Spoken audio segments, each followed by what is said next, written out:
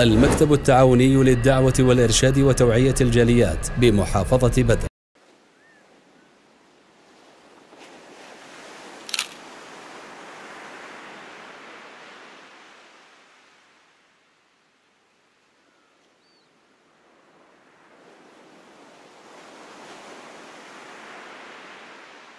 বিসমুল্লাহ রহমান রহিম সুপ্রিয় বন্ধুগণ আমরা আজকে যেখানে দাঁড়িয়ে আছি আমরা দেখতেছি মহান রব্বুল আলমিনের একটি নিদর্শনের বহিঃপ্রকাশ।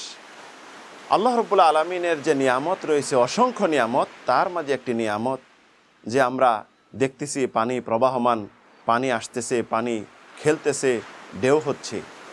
এই যে ঢেউ, এই প্রাকৃতিক যে নিদর্শন, সৌন্দর্য, যদি আমরা প্রশ্ন করি, কে সৃষ্টি করেছেন? সকলে উত্তর দেব, মহান রব্বুল আলমিন সৃষ্টি করেছেন।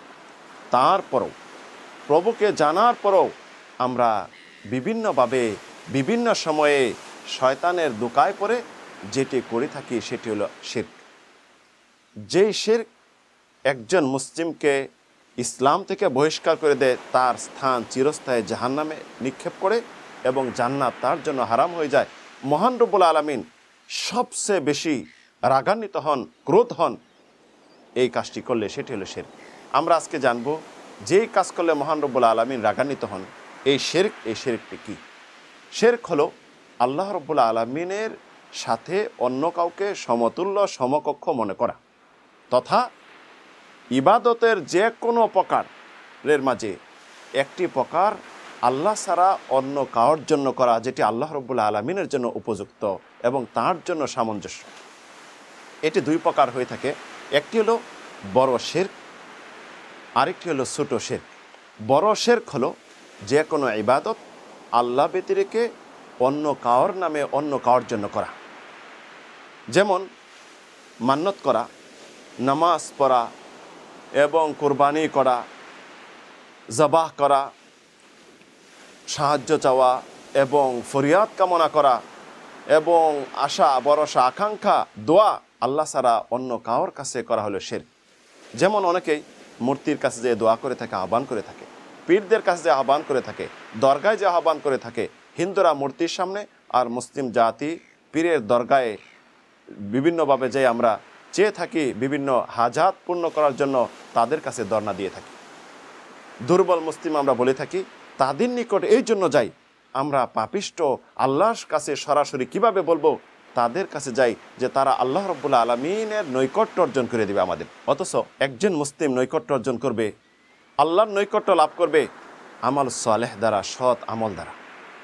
যদি আমরা এই সমস্ত ইবাদত অন্য কাওয়ার জন্য করে থাকি চাই হোক বুথ পেতনি অথবা মূর্তি, নবী অলি আউলিয়া, দরবেশ, যে কাওয়ার জন্য হোক না কেন করে থাকি, তাহলে আমরা মোশেক হব, আমরা ইসলাম থেকে বহিষ্কার, আমাদের চিরস্থায়ী স্থান হবে জাহান্নাম এবং আমাদের কোনো নফল ফরস ইবাদত আল্লাহ কবুল করবে না যদি আমরা তবা না করি। আল্লাহ রবুল আলমিন কোরআনে কারিমে অসংখ্য আয়াতে এ উল্লেখ করেছেন।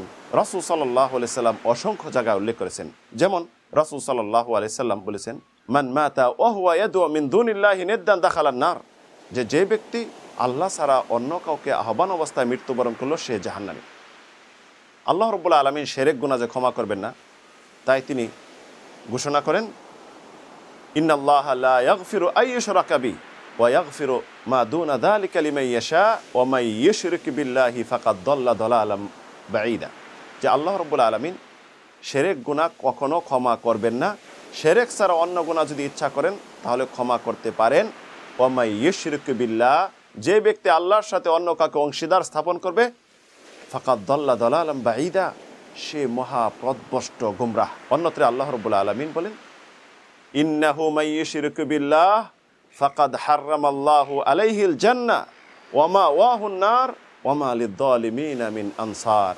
যে যে ব্যক্তি আল্লাহর সাথে অংশীদার করবে, শেরেক করবে, আল্লাহ রবুল্লা আলমিন তার জন্য জান্নাত হারাম করে দিবেন, চিরস্থায়ী জাহান্নাম অবতারিত আল্লাহ রবুল্লা আলমিনের পক্ষ থেকে কোনো সাহায্যকারী অত্যাচারীর জন্য কি আমাদের দিন হবে না। সেরেক যে করবে, তার যে ফরস নফল ইবাদত কিছুই কবুল করবেন না, গ্রহণ হবে না, সব বরবাদ করে দিবেন। আল্লাহ রবুল্লা আলমিন সোরা ফুরকানে বলেন ওয়াকাদিমনা ইলা মা আমিলু মিন আমালিন ফাজে আল্লাহু হাবা আম্মান সোরা যে আমি তাদের কৃতকর্মর দিকে অগ্রসর হব এবং সেগুলি বিক্ষিপ্ত দুলি কোনার ন্যায় করে দিব। এটি হলো বড় শের বুঝতে পারলাম। দ্বিতীয় প্রকার হলো ছোট শের যে শের কাজগার বলা হয়। সেটি হলো সবচেয়ে বড় কবিরা গুণা এবং মানুষের আমলকে যেটা বার- বরবাদ করে দেয়। রাসুল সাল্লাম বলছেন আহু আফুমা আখাফু আলাইকুম আর আশেরকুল আসকার। যে তোমাদের উপর সবচেয়ে আমি ভয় পাচ্ছি, শেরকে আসকার তথা ছোট শের। যেই ছোট শের মানুষের আমলকে বরবাদ করে দিবে, আমলকে নষ্ট করে দিবে, এবং সে আল্লাহ রব্বুল্লা আলমিনের ইচ্ছার উপর নির্ভর হতে পারে আল্লাহ রব্বুল্লা আলমিন তাকে ক্ষমা করে দিবেন, তা না হলে তার ঠিকানা হবে জাহান্নাম। রাসুল সাল্লাহ আলাইসাল্লামকে যখন সাহাবিরা জিজ্ঞাসা করলেন যে শেরকে আসকার কি তখন রাসুল সাল্লাহ সাল্লাম বলেন আর রিয়া তথা লোক দেখানো, লোক শোনানো এবং লোকের প্রশংসা পাওয়ার জন্য, লোকের বাহাবা পাওয়ার জন্য কোনো আমল করা, কোনো ইবাদত করা। যেটি মানুষের আমলকে নষ্ট করে দেয়, বরবাদ করে দেয়। এমনইভাবে ছোট শেরকের উদাহরণ যেটি হলো, আমরা যদি বলে থাকি যে আল্লাহ যদি চায় এবং অমুক যদি চায়। এবং যে বললাম মানে কি আল্লাহর সাথে সমকক্ষ, সমতুল্য মনে করে দিলাম। রসুল সাল্লাহ আলাইসাল্লামের কাছে এক ব্যক্তি এসে বললেন মা শাহ আল্লাহ শেদ।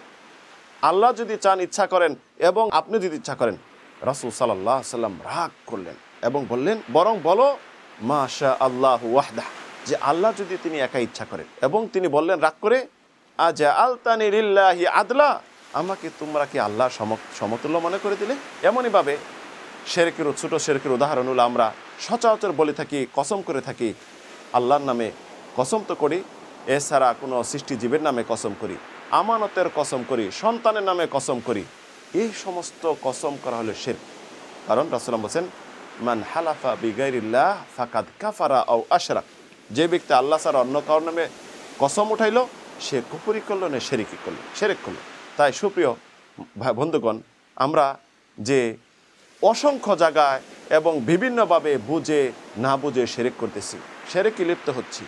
অথচ আল্লাহ রবুল্লা আলমিন আমাদেরকে সৃষ্টি করেছেন শুধুমাত্র, কেবলমাত্র একচ্ছত্র আল্লাহর ইবাদত করার জন্য। আসুন, আমরা আল্লাহর ইবাদত করি এবং জান্নাত আমাদের জন্য অবতারিত করি।